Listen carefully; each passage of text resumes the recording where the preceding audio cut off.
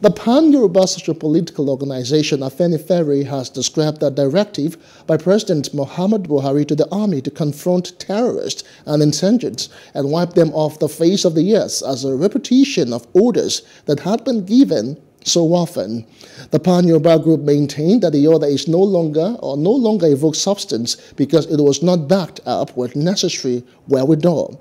While addressing the 247 graduating students of the senior course 44 of the Armed Forces Command and Staff College, Jaji, the president had said that recent terrorist attacks in Nigeria bore the hallmark of national and trans-border insurgents trying to cause havoc in Nigeria as well as in neighboring countries.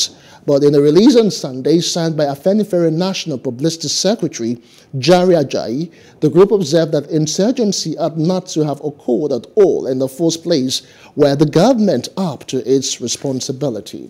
Hello, hope you enjoyed the news. Please do subscribe to our YouTube channel and don't forget to hit the notification button so you get notified about fresh news updates.